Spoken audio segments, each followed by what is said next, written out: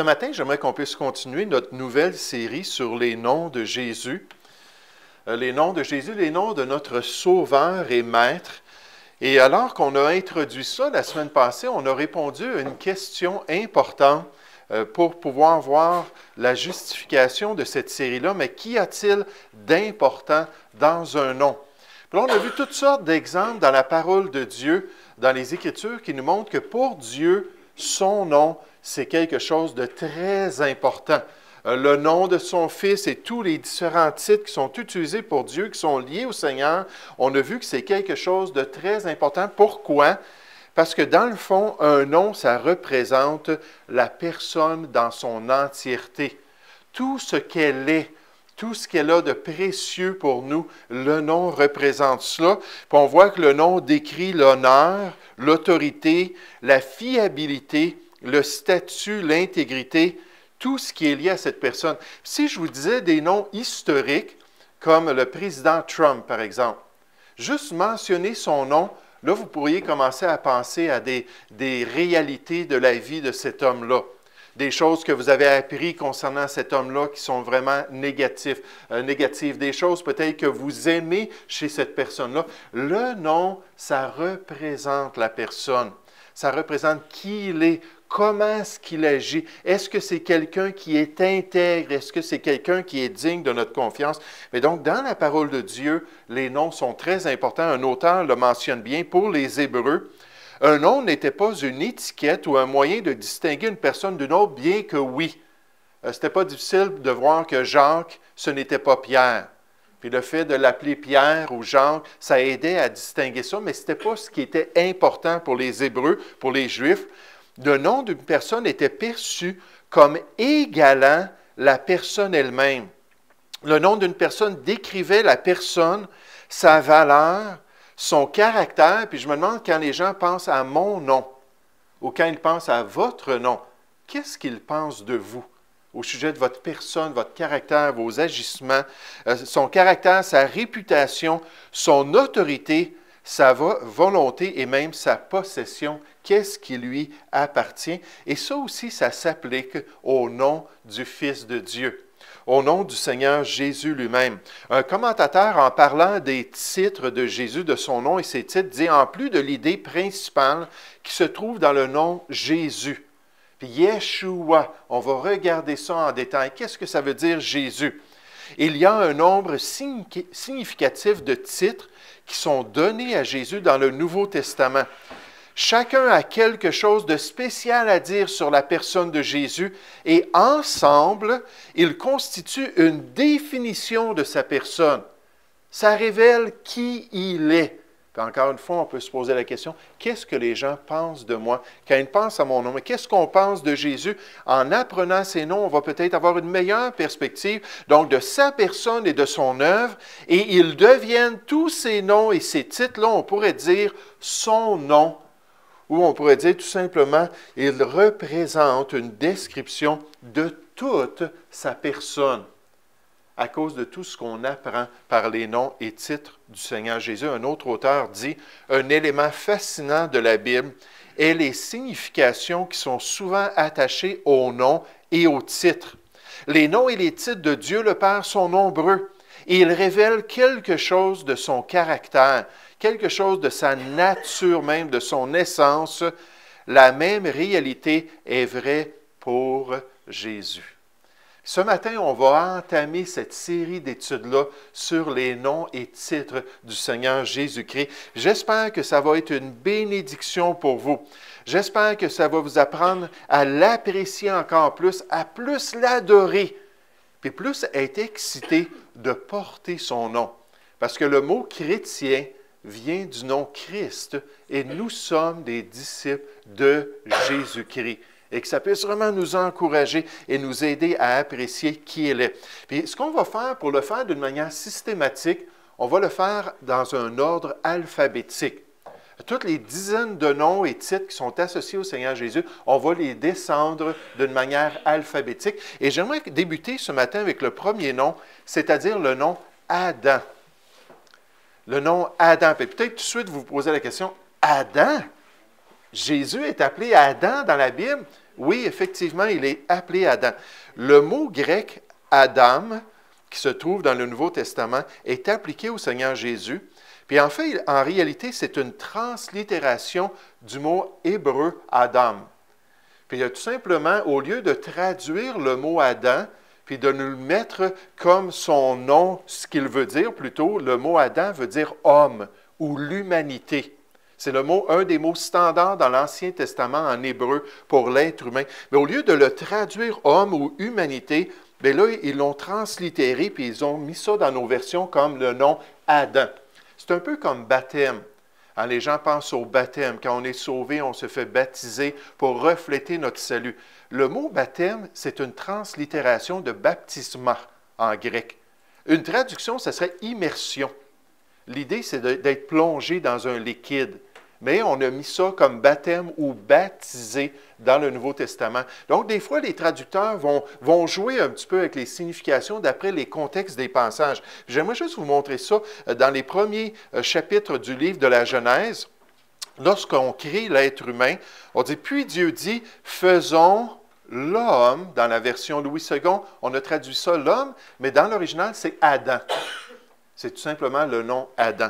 Faisons l'homme à notre image selon notre ressemblance, et qu'il domine sur les poissons de la mer, sur les oiseaux du ciel, sur le bétail, sur toute la terre et sur tous les reptiles qui rampent sur la terre, Dieu créa l'homme ou il créa Adam à son image. Et il le créa à l'image de Dieu. Puis là, ensuite, on nous dit, il créa l'homme et la femme. Puis là, c'est le mâle et la femelle dans l'original. Donc, on voit qu'Adam représente la race humaine. C'est le premier homme. C'est le représentant de l'humanité. Son nom que Dieu lui a donné parle de ce rôle-là et de son lien à tous ses descendants. Puis nécessairement dans la création de l'être humain, Dieu a créé le mâle et la femelle. Et dans les premiers chapitres du livre de la Genèse, à 23 reprises, dans la version Louis II, on va traduire ça homme au lieu de le traduire Adam. Et c'est seulement dans Genèse chapitre 3 que finalement on va se tourner vers cette signification-là. Un auteur dit Adam, ou l'homme, le nom que Dieu lui a donné, le progéniteur et le représentant en chef de notre race, qui fut formé de la poussière de la terre et rendu une âme vivante par le souffle du Créateur, c'est le seul à avoir été créé directement par Dieu, mais en fait, Ève aussi. Elle a été créée comme sous-produit d'Adam. Donc, on peut réaliser ce matin que Adam n'avait pas de nombril. Il n'en avait pas eu besoin, n'est-ce pas? Donc, il a été créé directement par Dieu. Il est le représentant. À partir de Genèse chapitre 3, on lui donne le nom Adam. Mais c'est encore le même nom que l'homme. Donc, Adam donna à sa femme le nom d'Ève, car elle été la mère de tous les vivants. Dans certaines versions, on va marquer encore l'homme. L'homme donna le nom à sa femme à cause qu'elle était finalement la mère de tous les vivants, euh, le nom d'Ève. Mais j'aime bien ça dans Genèse chapitre 5, on voit les traducteurs qui font les deux. Ils ont trois fois le nom Adam dans ce passage-là, puis une fois ils vont le dire comme un nom, le nom propre de la personne, et l'autre fois ils vont donner sa signification. Puis c'est un de mes versets favoris dans Genèse chapitre 5. Ça dit, voici le livre de la postérité d'Adam. Dix livres dans le livre de la Genèse qui nous parlent des descendants. Donc voici le premier, la postérité d'Adam. Lorsque Dieu créa l'homme ou Adam, il le fit à la ressemblance de Dieu. Il créa l'homme et la femme, il les bénit et les appela du nom d'homme ou le nom d'Adam lorsqu'ils furent créés. Vous savez, ce qui était intéressant au Québec dans le passé, c'est lorsqu'on se mariait, on devenait devant Dieu une seule chair, que la femme prenait le nom de son mari. C'est exactement l'image ici de l'union de l'homme et de la femme aux yeux de Dieu.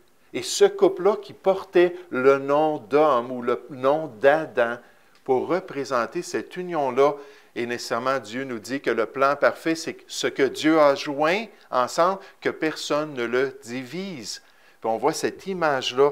Mais ici, on nous présente vraiment le premier Adam. Le premier Adam dans la parole de Dieu. Le premier homme, nécessairement, et le premier dans les personnages bibliques qui portent le nom d'Adam. une citation d'un auteur nous dit Adam, le premier homme, est le père de la race humaine. Le rôle d'Adam dans l'histoire biblique est important, et non seulement dans des considérations de l'Ancien Testament, tout l'Ancien Testament découle des choix d'Adam. Puis en fait, le Nouveau Testament aussi est affecté par cela. Mais aussi en comprenant la signification du salut et de la personne et de l'œuvre de Jésus-Christ. En effet, quand on se tourne vers le Nouveau Testament, on voit que le nom Adam est donné au Seigneur Jésus-Christ on voit que Dieu l'identifie à ce grand représentant de la race humaine avec tous ses défauts, avec toutes ses décisions. Puis ce premier Adam-là, dans un passage qu'on va regarder dans un instant, qui représentait la race humaine, le Adam de l'Ancien Testament a échoué. Il a échoué dans la tâche que Dieu lui avait donnée d'être obéissant. Puis le second Adam vient éclipser le tout en devenant victorieux dans la volonté de Dieu.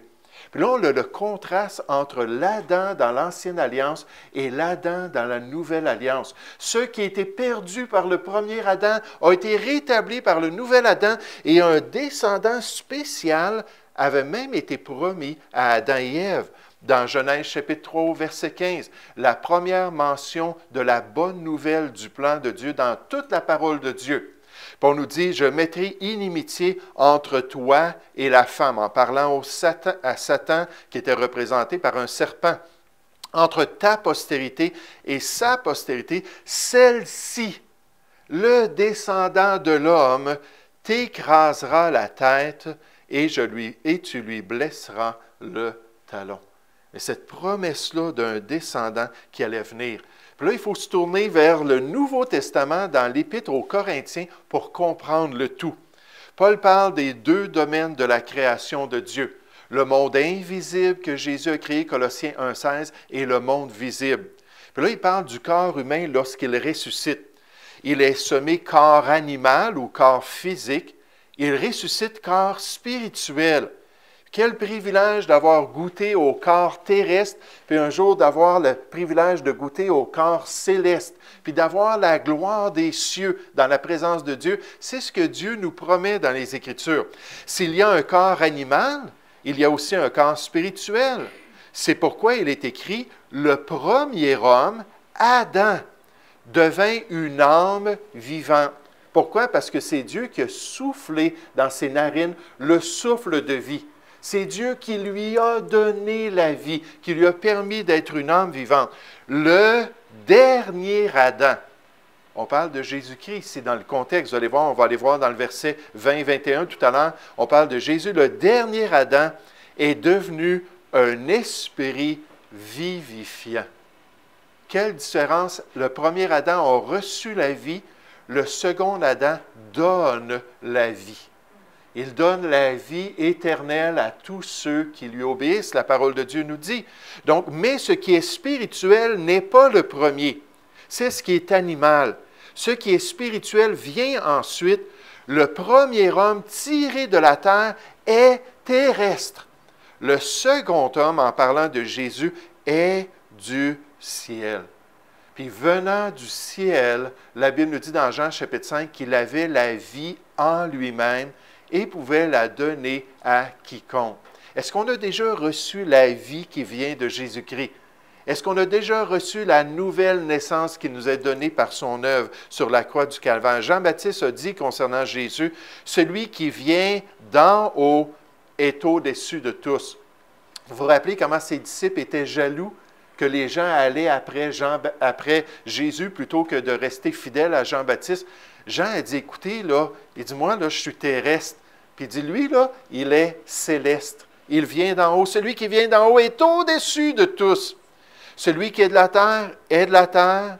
Et il parle comme étant de la terre. Est-ce que je crois au ciel? Je crois au ciel. Est-ce que j'ai déjà expérimenté le ciel? Je ne l'ai pas encore expérimenté. Par la foi, j'y crois. Puis Dieu me révèle qu'est-ce que ça va être un jour dans la gloire. Mais il dit, celui qui vient du ciel est au-dessus de tous. Donc Adam était terrestre, le deuxième ou le dernier Adam, lui, il était céleste. Il venait de la gloire. Il est venu pour nous donner cette gloire-là, cette vie-là. Dans Jean chapitre 8, on nous dit, il leur dit, vous êtes d'en bas. C'est Jésus lui-même, le dernier Adam qui nous dit ça.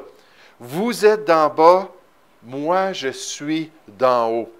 Vous êtes de ce monde, moi je ne suis pas de ce monde. Il aurait pu dire, le premier Adam était terrestre, il a reçu la vie, moi je suis céleste et je suis ici pour donner la vie, pour permettre aux gens d'expérimenter une nouvelle vie en Jésus-Christ. Ce dernier Adam-là est venu pour réparer ce que le premier Adam avait tout gâché. C'est ce qu'on nous dit dans le passage d'un Corinthiens chapitre 15. On nous dit au verset 21, car puisque la mort est venue par un homme, c'est aussi par un homme qu'est venue la résurrection des morts. Et comme tous meurent en Adam, de même aussi tous revivront en Christ. Puis on a perdu la gloire, on a perdu le paradis en Adam. Ces choses-là sont rétablies en Jésus-Christ. Si seulement on veut croire en lui si seulement on veut se tourner par la foi, puis le recevoir dans notre vie pour posséder la vie éternelle. J'aimerais vous inviter de tourner dans Romains chapitre 5. Je vais le mettre à l'écran, mais c'est tellement petit. Un passage qui fait ce contraste-là entre les deux Adams.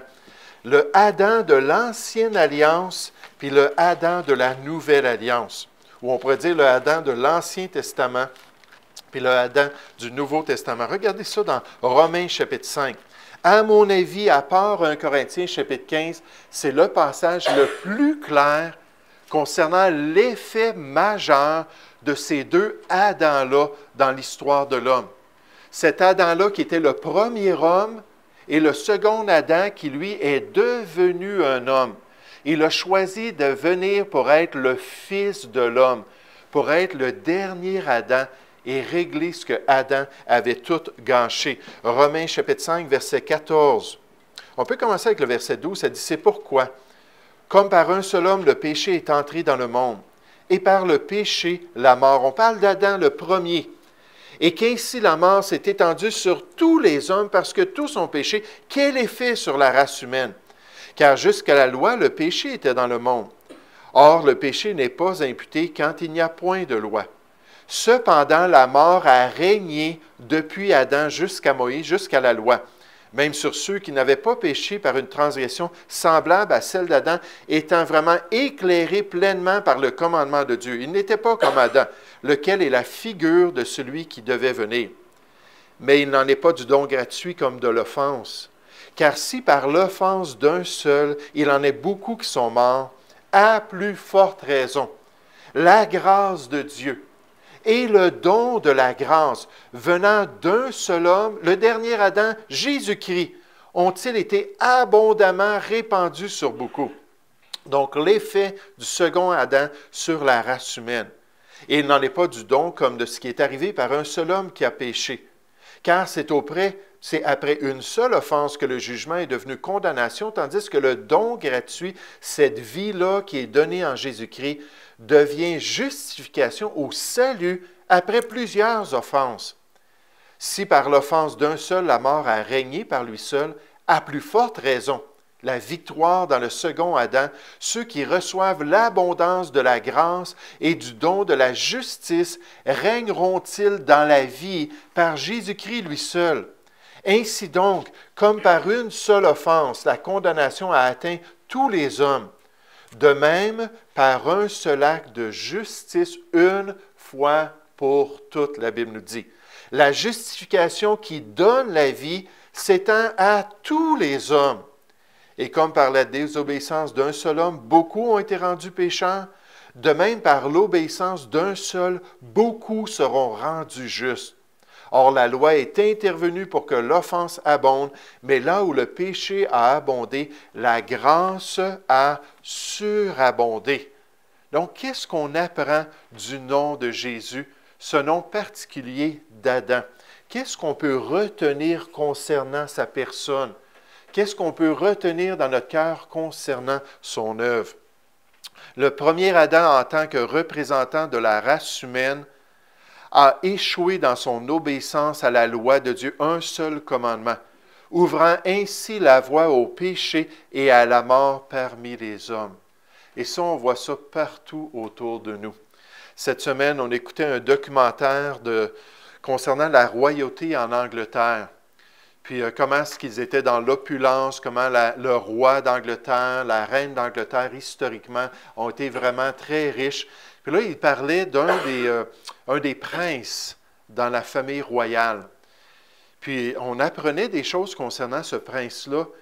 C'était incroyable comment il était rebelle envers la position dans la royauté, un peu comme la, princesse Diane, n'est-ce pas? Diane là, était toujours en train de dire qu'elle préférait retourner à sa vie normale qu'être toujours là, dans cette situation-là. Puis on peut comprendre, c'est pas facile d'être célèbre, c'est pas facile d'être vu par tout le monde, puis d'être critiqué comme cela. Puis, euh, Mais cet homme-là, alors qu'il parlait, avait tout pour lui dans la vie. C'était tellement méchant Là, on parle dans les années, j'essaie de me souvenir, je pense que c'était dans les années 30 ou 40, mais c'était tellement méchant. Il utilisait des mots, là, je me disais, ah, c'est son cœur. Il est comme dans le jardin d'Éden. Il est comme dans la situation la plus enviable peut-être sur la terre. Il a l'argent comme il en veut. Il a tous les services sur la planète. Il peut gagner le monde comme il désire. Il peut faire n'importe quoi mais on voyait sa méchanceté, puis son mépris, puis la manière qu'il traitait les autres. Puis vous savez, ça me faisait juste penser à Adam, n'est-ce pas, qui était dans un, un, environnement qui était parfait, qui avait une relation avec l'être le plus extraordinaire de l'univers, qui avait reçu une femme qui était exactement selon ses besoins. Puis malgré tout cela, il s'est rebellé, il s'est détourné. Puis là, cette nature pécheresse-là qui l'a irrité de son choix se voit partout autour de nous. On a juste besoin de parler de Jésus-Christ aux gens. On a juste besoin de parler de la vie que Dieu nous a donnée en lui. On a juste besoin de parler de la parole de Dieu pour s'apercevoir de la méchanceté de l'être humain qui est venu à cause d'Adam à cause de ses choix personnels. on nous dit concernant Jésus-Christ, le dernier Adam, vint offrir la justice et le pardon à la race humaine en tant que fils de l'homme par sa victoire sur la croix du calvaire. Alors qu'il disait continuellement, Seigneur, non pas ce que je veux, mais ce que tu veux. Je ne suis pas venu ici-bas sur la terre pour être le fils de l'homme, pour faire ce que je veux, mais pour me soumettre à toi. Dans Romains chapitre 8, il dit, je fais toujours ce qui lui est agréable. Dans le jardin de Gethsemane, il dit, Père, si c'est possible que cette coupe me soit éloignée de moi, s'il y a un autre moyen de salut, Seigneur, je serais prêt à le subir. Mais là, il dit, toutefois, non pas ce que je veux. Adam il a dit, non, je ne veux pas et je vais faire ce que je veux. Jésus a dit, non, je ne ferai pas ce que je veux et je vais me soumettre tout le temps à ta volonté. C'est comme ça que le second Adam a pu devenir notre sauveur. Un auteur nous dit concernant ça, Paul présente Jésus-Christ comme à la fois le dernier Adam, succédant là où le premier Adam avait échoué et de même comme le second homme se tenant à la tête de nouvelle humanité. Parce que Jésus, en ce moment, est en train de sauver des gens, puis il est en train de créer une nouvelle race humaine. Une race humaine de ceux qui sont rachetés, une race humaine de ceux qui vont être un jour incorruptibles et qui vont pouvoir aller dans son royaume incorruptible et vivre dans la présence de Dieu pour toujours. Plus précisément, il nous dit, par son péché, Adam amenant une misère universelle sur l'humanité. Par cet acte, il est le précurseur et le prototype de Christ, qui par son acte de justice amène l'espérance universelle de la rédemption à cause de son obéissance, le dernier Adam nous permet d'être réconciliés avec Dieu et de posséder une nouvelle vie. Un autre auteur nous dit, le second Adam est appelé le dernier Adam ou la christologie d'Adam, l'application des, des, des réalités spirituelles de Christ au nom d'Adam. Un concept des écrits de Paul qui explique qu'en devenant humain, Christ devint le second Adam il commença une nouvelle création. Donc lui, il a des descendants spirituels. C'est ainsi que Christ est mis en contraste avec le premier Adam. Donc souvenons-nous que dans la parole de Dieu, il y a deux Adams. Un qu'on retrouve dans l'Ancien Testament, nécessairement qui est mentionné dans le Nouveau Testament, mais qui a eu un impact sur la race humaine par son péché. Et il y a un dernier ou un second Adam qui lui est venu il y a environ 2000 ans pour être obéissant à Dieu, pour suivre le Seigneur. On nous parle du mystère de la piété du Seigneur Jésus-Christ, pour suivre en tout cas la volonté de Jésus-Christ, de Dieu plutôt, et accomplir son salut. Et lui, il nous offre une nouvelle vie. Ce qui fut perdu par le premier Adam fut rétabli par le second. La transgression qui débuta la corruption de la race humaine fut suivie par l'obéissance qui offre la sainteté à la race humaine. Et tout cela est possible à cause de Jésus. Tout cela est possible à cause de notre dernier Adam qui a été victorieux et qui veut aujourd'hui justifier les hommes. J'aimerais juste dire publiquement, merci Seigneur Jésus qu'un jour tu m'as sauvé. J'espère que vous pouvez dire ça vous aussi. Merci qu'un jour tu m'as donné cette nouvelle vie-là. Merci qu'en tant qu'esprit vivifiant, tu as transformé mon cœur pour m'aider maintenant à me soumettre à la volonté de Dieu. J'aimerais juste résumer par trois aspects. Trois aspects de la transformation dans la race humaine à partir de cette victoire-là du second Adam.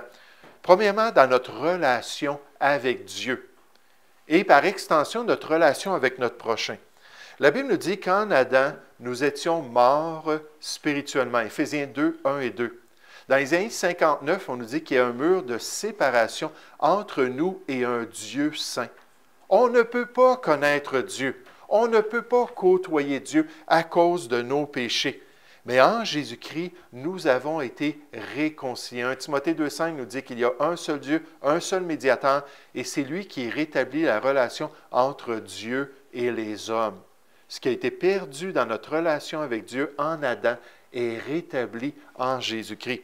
Deuxièmement, on voit dans la parole de Dieu, puis là, c'est vraiment, on pourrait dire, les aspects majeurs, parce qu'il y a d'autres détails aussi qui ont été affectés par Jésus-Christ. Mais deuxièmement, on voit que la nature a été affectée par le premier Adam. Dans Genèse chapitre 3, elle a été maudite. Dans Romains chapitre 8, on nous dit qu'elle a été mise sous la corruption du péché.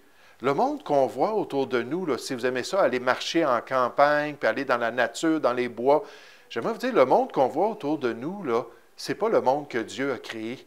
Il a été souillé par le premier Adam et nécessairement par l'être humain. Mais la Bible nous dit que Jésus un jour va venir renouveler la nature. Acte 3, verset 21. On voit ça dans Ésaïe chapitre 11, Ésaïe chapitre 65. Toute la planète va redevenir comme un jardin d'Éden pendant le règne de Christ. Pourquoi? À cause du renouvellement qui va venir lorsque Jésus va revenir.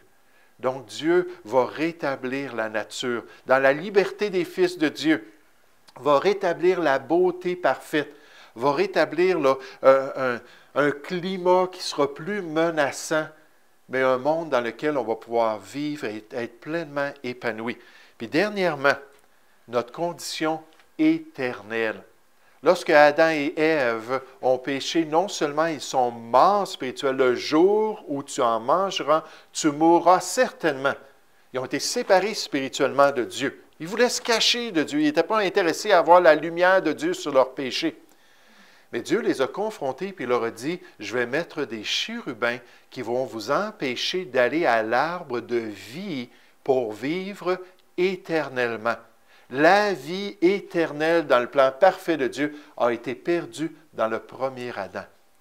Mais la Bible nous dit que Jésus est venu pour nous donner la vie éternelle. Dans Apocalypse chapitre 22, on nous dit que les croyants, au verset 2, vont pouvoir avoir accès à cet arbre de vie et vivre éternellement. Pourquoi? À cause de notre Adam, à cause du Seigneur Jésus qui est venu faire un effet extraordinaire et potentiel pour tous les êtres humains. Puis quel privilège on a aujourd'hui d'être à l'Église de Dieu. puis d'entendre l'Évangile de Dieu et de pouvoir choisir de nous tourner vers le second Adam et de ne pas rester entêté comme le premier Adam dans notre péché, mais être prêt à être couvert par le sacrifice de l'agneau de Dieu. Voici l'agneau de Dieu qui ôte le péché de l'homme. J'espère que vous avez fait ce choix-là. J'espère que vous vous êtes tourné vers le Seigneur Jésus-Christ. Donc, juste une introduction encore à notre série, un premier nom à considérer dans la parole de Dieu, celui d'Adam, qui est attribué au Seigneur Jésus-Christ à cause de son impact extraordinaire sur la race humaine.